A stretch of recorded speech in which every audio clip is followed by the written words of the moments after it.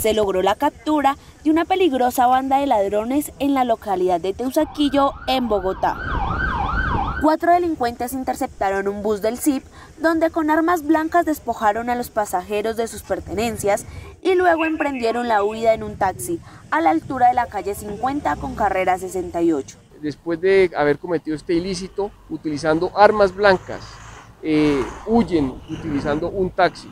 Gracias a la oportuna información de la ciudadanía y a la reacción de los policías asignados al cuadrante, unas 10 cuadras más adelante se logra la captura de estos sujetos y la inmovilización de un taxi. Los elementos hurtados fueron recuperados, el taxi fue inmovilizado y los delincuentes fueron puestos a disposición de las autoridades.